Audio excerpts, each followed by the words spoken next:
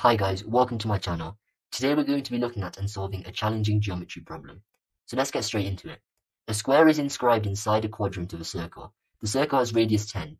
What is the area of the square? So firstly, let's label the side length of the square as x.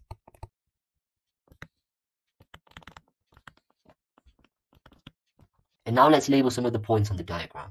We'll call the center of the circle O, the endpoints of the sector A and B, and we'll call the vertices of the square C, D, E, and F.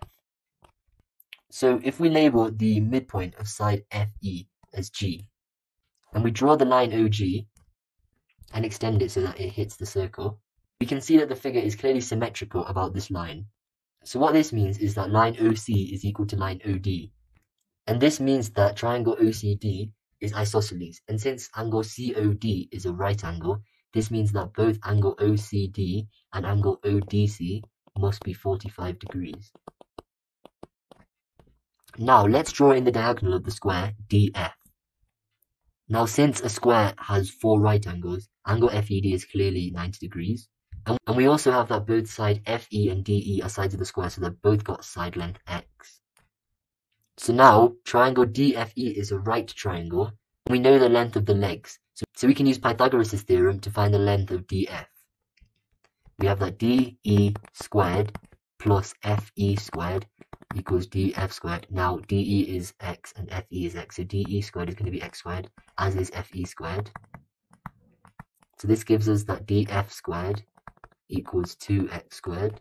So therefore, DF is equal to x root 2. And we'll label this in our diagram. Now, since line DE is equal to line FE, triangle DFE is isosceles. And this means that angles EFD and FDE are equal.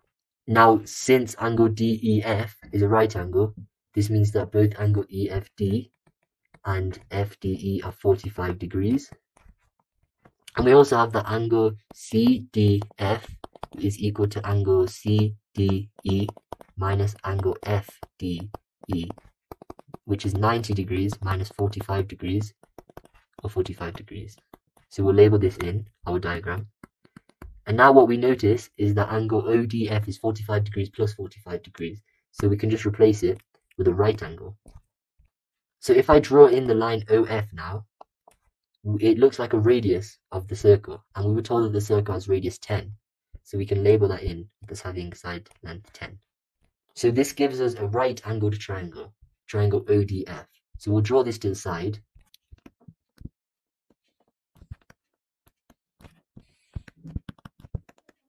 And we'll also label in the side lengths that we know. Now once again we can use Pythagoras' theorem to find the length of OD. So we have FD squared plus OD squared equals OF squared. FD is x root 2, so FD squared is going to be 2x squared. And OF is 10, so OF squared is going to be 100. Now we have OD squared equals 100 minus 2x squared, so therefore OD equals the square root of 100 minus 2x squared. And I'll label this in the diagram. Now, we also figured out that line OC had the same length as OD. So this means that line OC is also going to have length root 100 minus 2x squared.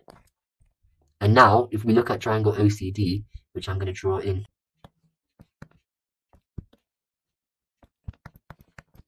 we know that both line OC and OD have length root 100 minus 2x squared. And also, line CD is a side of the square, and we established that the square has side length x. So we can also label in that CD has length x.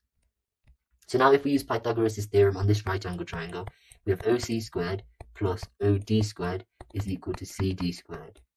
OC is root 100 minus 2x squared, as is OD.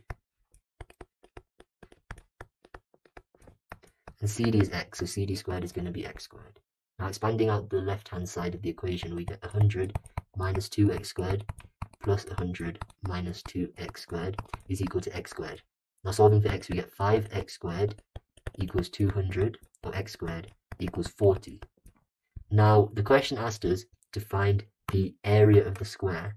Now, clearly, uh, a square with side length x is going to have area x squared. So our answer is 40.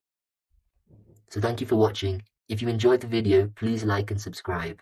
Let me know in the comments how you found it, and share it with a friend to see if they can solve it too.